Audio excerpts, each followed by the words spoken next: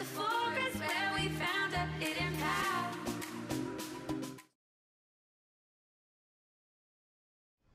So we have made it to Galveston. It was about an hour Uber ride.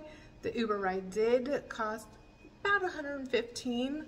Um, we got an XL because we have so much luggage. But um, here we are at Harbor House.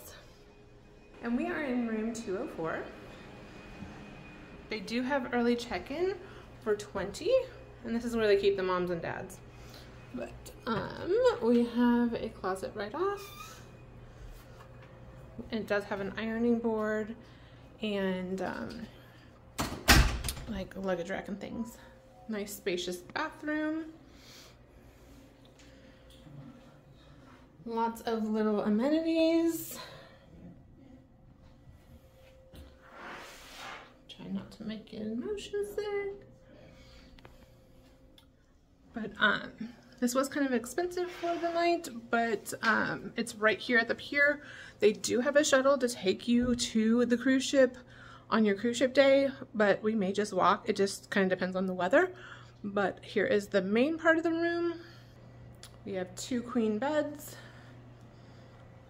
power, alarm clock, all that kind of stuff.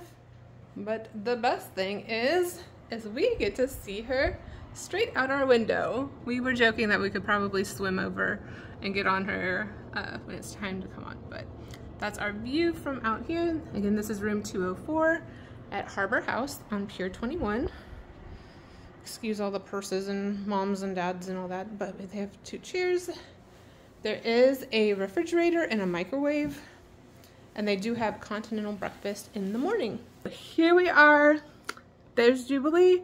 Let's go explore Galveston. So now I'm out here in the like main area on floor two of Harbor House. They have the vending machine right here. And then the elevator is right behind. So you go straight across and this is where they will have the continental breakfast. So they have like the cold goods. There's a TV going for the background noise, sorry. A little computer station with a printer. And then like where it would be set up. So I wanted to make the video and get it uploaded while I was here. If you have any questions, make sure to them down below. But um, so far so good. The price was about 250 a night when I booked. Um, but yeah, the views can't be beat and it's nice and modern while having still a little bit of that like historic touch.